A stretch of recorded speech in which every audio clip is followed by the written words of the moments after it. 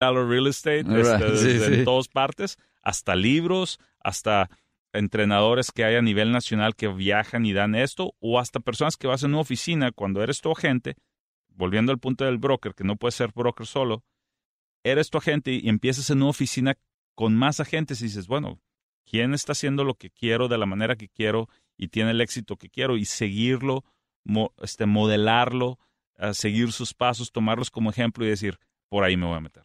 Ahora, vamos a hablar un poquito, ya, ya hemos hablado de lo que es el agente de bienes raíces, el broker también, pero hay otro tipo de actividad que se está dando ahora que cada vez te encuentras más, que es el fixer-upper business. O sea, la, ¿cómo le llamamos en español al fixer-upper? Eh, no sé, pero yo creo que le decimos igual que en inglés flipping, ¿no? Flipping, correcto.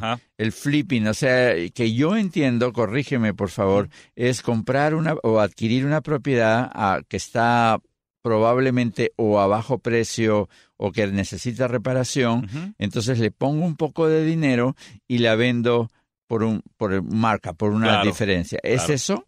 Sí, es eso, es 100% eso y, y, las encuentras en muchas situaciones, las encuentras en, en, en, gente que les quitaron la propiedad por algún problema, en la corte, gente que en realidad la heredó y que no sabe qué hacer, gente que uh, falleció alguien y que la casa pues se tiene que arreglar, vender y todo porque está toda dilapidada, este, de, de, sí, destartalada, hecha pedazos. Claro. Entonces, pero, pero obviamente, o sea, cuando ves un negocio que es bueno, hay gente que nomás se dedica a hacer flipping y, y puedes tener licencia para hacerlo o puedes no tener licencia y ser el inversionista que tiene el dinero y lo, lo compra, ¿verdad?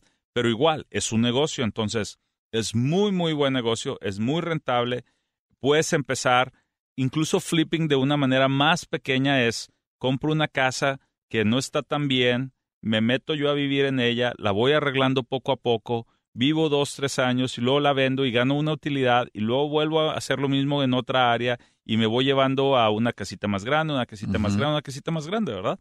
Pero hay gente que hace eso como negocio, que hace eso todos los días, desde ir a buscar propiedades que estén en malas condiciones y las venden.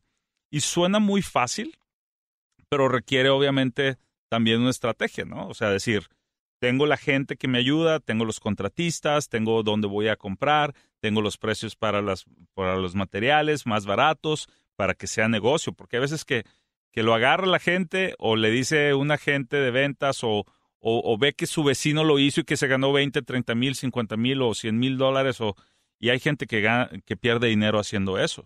Entonces tienes que saber lo que estás haciendo, tienes que tomarlo en cuenta como negocio y tener la guía de un agente que te ayude. En cambio, si eres un agente de bienes raíces, no tienes que invertir tu dinero y tienes menos riesgo de perder dinero, excepto tu tiempo. Bueno, sí, pero hay agentes que incluso lo hacen y pierden dinero, o hay agentes que lo hacen. La ventaja que tienes es que puedes decir, puedo agarrar la comisión que me va a tocar de la venta o de la compra y metérsela como inversión. Y hay gentes que se juntan y se asocian y hacen eso. Hasta grandes inversionistas que hay que compran miles de propiedades al año y que ese es todo su negocio y tienen toda una infraestructura de poder hacer eso, que es un flipper en así en, en máximos niveles que hoy en día lo llaman iBuyers. No sé si has escuchado ese término. iBuyers. iBuyers de institutional buyers. Ok. Uh, ¿Qué es diferente al REIT? sí, completamente. Los REITs hacen eso y los compran así, pero no son necesariamente flippers. Hay, hay, hay, hay buyers hay que compran propiedades y a veces las rentan nada más como un tipo REIT, pero la gran mayoría o, o en realidad el enfoque principalmente del iBuyer es un flipper con muchos, muchos, muchos, muchos fondos para poder comprar cientos y miles de propiedades en un periodo de tiempo este, rápido y que dicen, ok, veo la propiedad, tengo un sistema, sé cuánto vale, sé, esta es la oferta y aquí el día de hoy te doy el dinero. Si quieres, hoy firmamos. ¿Quién hace más dinero, un flipper o un agente de bienes raíces? Ah, yo creo que tienes los, ambos que pueden generar las mismas cantidades. Las mismas cantidades al final. Sin embargo, yo, yo, veo que un flipper corre muchísimo más riesgo si es que lo estás haciendo de tu, de tu propio fondos. Sí, y aunque lo hagas de fondos con otras personas, este, con créditos, tienes que tener, o sea, tienes uh, el costo del interés de esos préstamos, el tiempo que te pasas, si no hiciste los cálculos correctos, si la compraste por un precio incorrecto o la vendes por un precio donde en dos, tres meses que le ibas a tener lista se, mueve el mercado a otra dirección y tú ya no puedes o se suben o se bajan los intereses y ahora te, te ayuda o te afecta. Entonces, hay riesgos, pero es como cualquier otro negocio, ¿verdad? claro, y yo veo más riesgo en los flippers por todos los factores que tú has dicho, incluyendo, ok, tienes que buscar la propiedad, tienes que negociar con el propietario, que generalmente son situaciones un poco complicadas y después tienes que traer al constructor, al, al, al hombre que va a realmente traer los materiales, al contratista. es la palabra, y de ahí tienes que esperar, como tú estás diciendo, en un tiempo mínimo posible, meterle X cantidad de dinero y, y, sacar, ok, esta propiedad la puedo vender a tal cantidad en el mercado, y sin embargo pueden pasar todos esos factores. En cambio, siendo un agente de bienes raíces, no tienes ese eh, riesgo. No tienes ese riesgo. No para nada. O sea que para ser un flipper tienes que tener realmente una sangre sólida para entrar allí. Sí, no toda, toda la gente piensa que es muy bonita y todos nomás se enfocan en el, en el ya en el resultado final donde dices, me, me voy a ganar 40 mil dólares o 50 mil dólares, pero no te das cuenta, como decíamos hace rato, o sea, todo el proceso que es, todo el éxito, fracaso, todo el medir todos esos riesgos que dices. Una gente, obviamente, en la pura transacción y la venta, si ese es su trabajo normal, no llevas nada de ese riesgo que tendría en un flipper. Claro. Pero también no generas el, el porcentaje de ganancia en una operación o en esa operación que la gente gana en su comisión. Si vamos a decir que es un flip que te ganas 20 mil o 50 mil 50 mil dólares en 500 mil dólares de precio, la gente podría ganar 12, 15 mil dólares a lo mejor en comparación a los 50 mil, ¿verdad? Por la comisión que es distinta al, a la utilidad del flip. Correcto, y la tienes que compartir además con el agente que representa o al comprador o al vendedor según el lado del río al cual estás. Y tu, y tu broker, y, todos tus gastos. Pero quizás, pero quizás duermas mejor que un flipper. Sí, o sea, son diferentes negocios. Es como la gente que va a Las Vegas, tú has ido a los casinos, me imagino, y tú ves gente que está sentada jugando y otros que están viendo. Sí, y se divierten igual los dos. Correcto. Ahora, tú eres, este, has sido nombrado eh, Top Real Estate Agent several times by the Wall Street Journal. So, ¿cuál es tu secreto para tener éxito?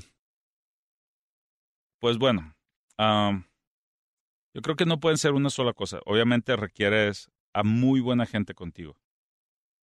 En el a, a situación personal ha sido más que nada empeño, perseverancia, dedicación y decir, lo voy a hacer, lo voy a hacer, lo voy a hacer y tengo que ver de quién aprendo y cómo aprendo rápido y qué tan rápido me equivoco para esos errores ya no volverlos a cometer y, y tener un, una situación normal donde pueda al menos yo predecir qué puedo lograr hacer en cuestión de números. Pero llega un punto donde dices, bueno, yo vendo una casa al mes, vendo dos al mes, vendo tres al mes, vendo cuatro al mes. Dices, bueno, una a la semana, pues sí, está bien. ¿Qué tanto más te puede tardar enseñar y vender y preparar papeles, inspecciones y todo? Dices, bueno, cinco al mes, seis al mes, ocho al mes. Bueno, son ya dos por semana, tengo dos, tres días. Ahora diez al mes estás diciendo, vas creciendo. Entonces, cuando llegues a un punto donde mi año donde yo trabajé solo con un asistente administrativo coordinándome todos los papeles y más ventas generé a nivel personal solo, fueron 110 ventas en un año. 110 ventas, o sea, cada, una venta cada tres días básicamente. Sí, ajá, y, y, y prácticamente necesitas empezar a tener sistemas y procesos y al mismo tiempo gente que te ayude. Ahora, entonces yo estoy viendo que el secreto de tu éxito, en este caso David, está en ti mismo, en tu disciplina, en tu organización personal, en, la forma como tú ves tu trabajo, pero también un compromiso moral contigo mismo, porque te puedes dedicar a cualquier vicio y se acabó, ¿no es cierto? O sea, tiene mucho esto que ver contigo mismo. No, claro, tiene, o sea, empiezas, yo creo que si tienes éxitos y si y si tienes fracasos, primero que nada te tienes que ver en el espejo y eres tú, ¿verdad? Correcto, que, no estás haciendo algo bien o algo mal. Obviamente, cuando te das cuenta que haces algo bien, y mantener lo que funcione es cuestión de disciplina, como dices. Claro. Es cuestión de decir, sabes que tengo que, estoy comprometido con que me tengo que levantar y estar a tal hora en la oficina porque tengo que hacer eso y tengo que ver citas y si tengo que llenar mi agenda con citas y, y cada vez te estás haciendo mejor de que, bueno, veía a 10 personas y de cada 10 sacaba un cliente, ahora veo a 5 y saco un cliente, o veo a 2 y saco un cliente, etcétera. Saber calificar tu tiempo, este, prepararte, acomodarte y poder decir eso, eso empieza contigo, pero obviamente tienes que, es mucho crecimiento y desarrollo personal antes que, que tengas la información necesariamente de qué hacer con el negocio. ¿De dónde te nutres tú personalmente? ¿Tu capital intelectual? ¿Estudias? ¿Lees todos los días? ¿Tienes algún hábito en particular? Pues yo escucho podcasts como el tuyo. Este, Gracias. Al mismo tiempo, libros, Audible, este, estás escuchando varios libros consistentemente. Antes antes leía más así de el, el libro en sí. El libro que olía tinta, papel. Exactamente, y ahora es pues un poquito más escucharlo y tomas notas, etcétera. Este, vas a entrenamientos, vas a cursos de dos, tres días. Este, hay muchos libros desde que, yo creo que para mí uno de los más importantes ha sido el de uh, Think and Grow Rich, Piense y hágase rico, de Napoleon Hill. Claro. How to Win Friends and Influence People este, de Del Carnegie, desde, son las bases, bases de los negocios. Son los clásicos. y esos de repente te metes a otros libros y a otros temas. En el lado de bien raíces, yo creo que uno de los libros más, más impactantes para cualquier persona que quiera hacer esto es un libro que es el fundador de la compañía donde hasta el día de hoy estoy, Keller Williams. Y Gary Keller puso un libro que se llama uh, The Millionaire Real Estate Agent. Y este libro, que es una cubierta roja dentro de la oficina, le dicen el libro rojo, ¿verdad? Este habla de cómo no nada más pensar en cómo generar un millón de dólares en, en comisiones y luego después generarlos. Después de eso dices, bueno, pues ya generé un millón de dólares en comisiones, pero ahora tengo una infraestructura de agentes y equipo y administrativos y gastos y, y publicidad, etcétera dices, bueno, ahora como neto un millón de dólares después de gastos. Y luego ya después de eso dices, bueno, ¿y ahora cómo puedo tener ahora sí un negocio donde el negocio está funcionando sin que yo tenga mucho que ver ahí y pueda recibir un millón de dólares? Ya, ya después de todo mi negocio que está funcionando. Y ahora el siguiente punto es decir, bueno, ¿cómo pudiera yo incluso contribuir y qué tanto negocio y qué tanta qué tanto enfoque y qué tanta mente, eh, mentalidad tendría que tener para que fuera tan grande así mi negocio que pudiera yo incluso donar a una organización, a una fundación, o lo que sea, un millón de dólares.